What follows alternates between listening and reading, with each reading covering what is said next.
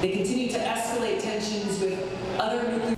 I think the, one of the key takeaways from tonight's debate is that we have a lot of great candidates that have a lot of really good policies um, from the Democratic side that are really excited and engaged and happy to speak about some really important issues. Um, we have a number of candidates that are are really great. Vice President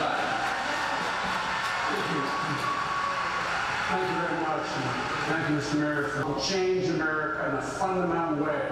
The America we know will no longer exist. Everybody knows.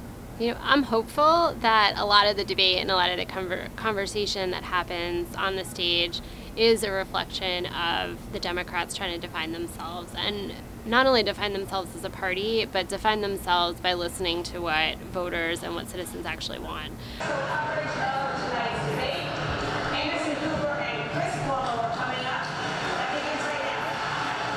So I have um, not made up my mind about who I'm going to vote for. I think there's a lot of really good candidates that I'm very excited um, to learn more about.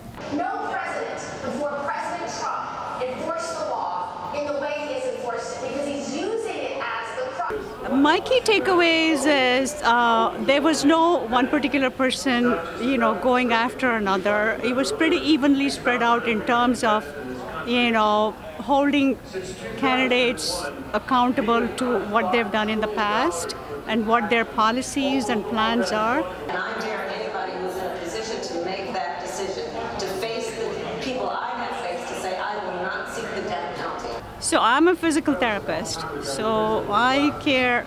My number one concern is healthcare, and um, you know I support what Joe Biden is putting out.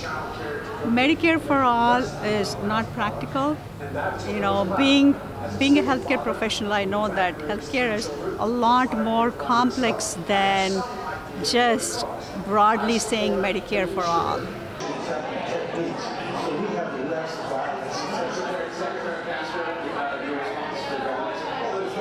A battle for the soul of the Democratic Party, that's true.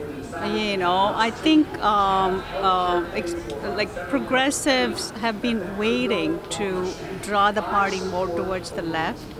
Uh, but I'm a moderate person, so you know, I, I, mean, I do believe in progressive ideas, but I feel like uh, revolution is not practical.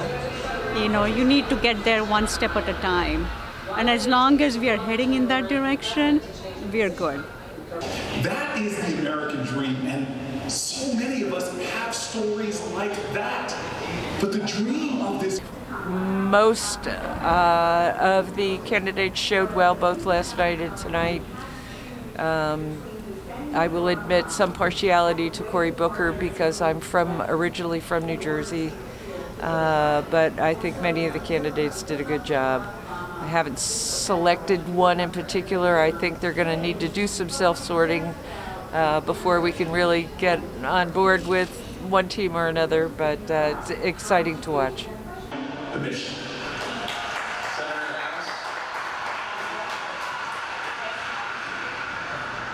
Who can stand up to Donald Trump is a question. Frankly, I would be delighted for any Democrat to stand up to Donald Trump, and I think I don't mean to be vague, but I think many of uh, the folks who are presenting themselves could do so. Uh, and I think a strong pairing, as I said, as a presidential candidate with a strong VP um, has uh, every chance in the world. Uh, I am about as anti Trump as they come. I'm sorry to say, but it's true.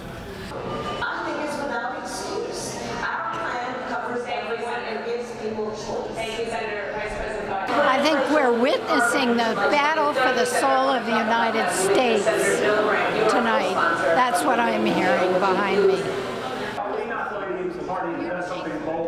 that says we don't need to be dependent on private insurance. We can have a system that